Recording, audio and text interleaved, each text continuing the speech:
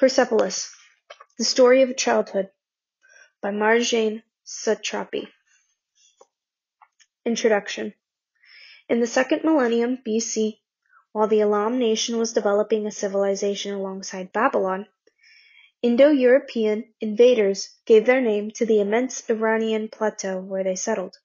The word "Iran" was derived from "Ari Irania Vahejo, which means quote "the origin of the Aryans". These people were semi-nomads whose descendants were the Medes and the Persians. The Meds the Medes excuse me founded the first Iranian nation in the seventh century BC. It was later destroyed by Cyrus the Great. He established what became one of the largest empires of the ancient world, the Persian Empire.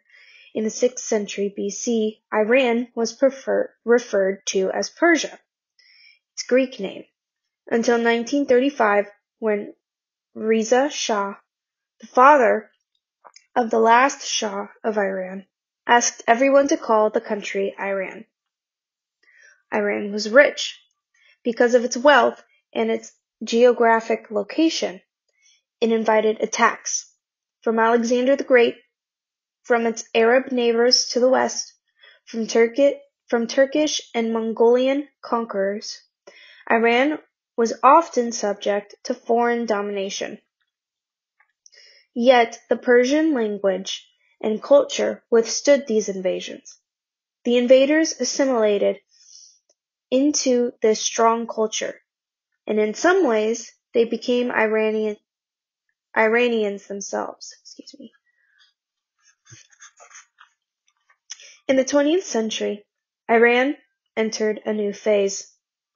Reza Shah decided to modernize and westernize the country, but, we, but meanwhile a fresh source of wealth was discovered, oil. And with the oil came another invasion. The West particularly Great Britain, wielded a strong influence on the Iranian economy. During the Second World War, the British, Soviets, and Americans asked Reza Shah to ally himself with them against Germany, but Reza Shah, who sympathized with the Germans, declared Iran a neutral zone. So the Allies invaded and occupied Iran. Reza Shah was sent into exile and was succeeded by his son, Mohammad Reza Pahlavi, who was known simply as the Shah. In 1951, Mohammad Mossadegh, the Prime Minister of Iran, nationalized the oil industry. In retaliation, Great Britain organized an embargo on all exports of oil from Iran. In 1953, the CIA, with the help of British intelligence, organized a coup against him. Mossadegh was overthrown and the Shah, who had earlier escaped from the country, returned to power. The Shah stayed on the throne until 1979, when he fled Iran to escape the Islamic Revolution. Since then, this old and great civilization has been discussed mostly in connection with fundamentalism, fanaticism, excuse me, fanaticism, and terrorism. As an Iranian who has lived more than half of my life in Iran, I know that this image is far from the truth.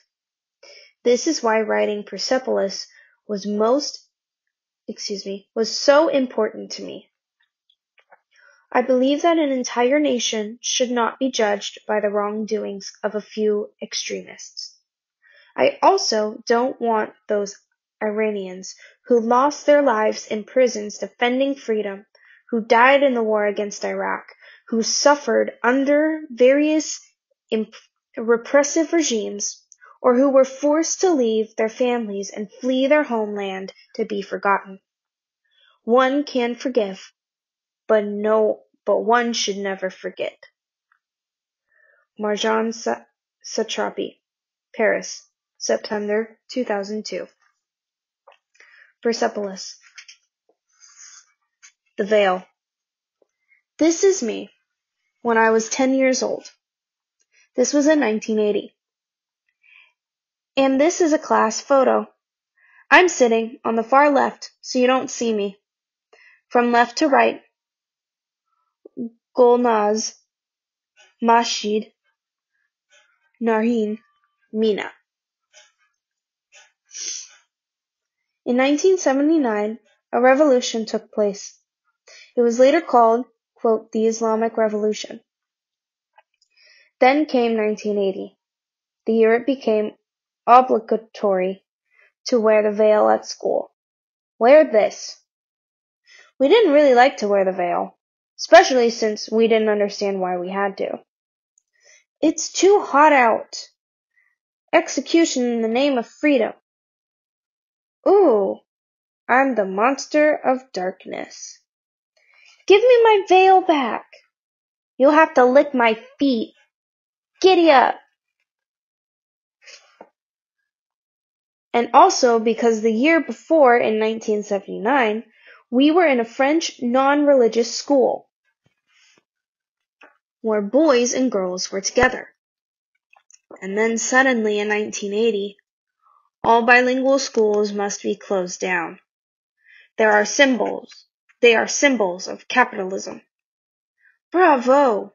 What wisdom! Of decadence. This is called a quote, cultural revolution. We found ourselves veiled and separated from our friends. And that was that. Everywhere in the streets where we were everywhere in the streets there were demonstrations for and against the veil. The veil, the veil, the veil, the veil, the veil. Freedom, freedom, freedom, freedom, freedom. And one of the demonstrations, at one of the demonstrations, a German journalist took a photo of my mother. I was really proud of her. Her photo was published in all the European newspapers. and even in one magazine in Iran. My mother was really scared. Have you seen this? Don't worry, darling. She dyed her hair. She wore dark glasses for a long time. I really don't know what to think about the veil. Deep down, I was very religious, but as a family, we were very modern and avant-garde. I was born with religion. At the age of six, I was already sure I was the last prophet. This was a few years before the revolution. Oh, celestial light! Before me, there had been a few others. I am the last prophet. A woman? I wanted to be a prophet because our maid did not eat with us. Because my father had a Cadillac and above all because my grandmother's knees always ached. Oh, come here, Marge, Margie. Help me to stand up. Don't worry, soon you won't have any more pain. You'll see. Like all my predecessors, I had my holy book. The first three rules came from Zarathustra, he was the first prophet in my country before the Arab invasion. You must base everything on these three rules.